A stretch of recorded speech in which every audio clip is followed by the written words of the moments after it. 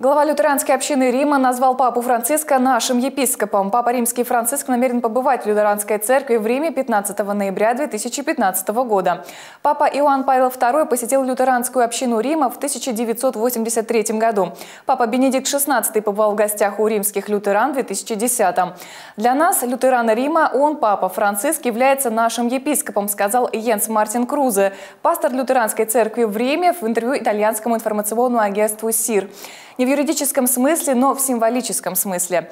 Времена определенно не хороши для веры и для христиан, добавил Крузе. Таким образом, наша общая задача состоит в том, чтобы найти новые способы помочь людям приблизиться снова к страницам Евангелия и иметь личные отношения с Богом.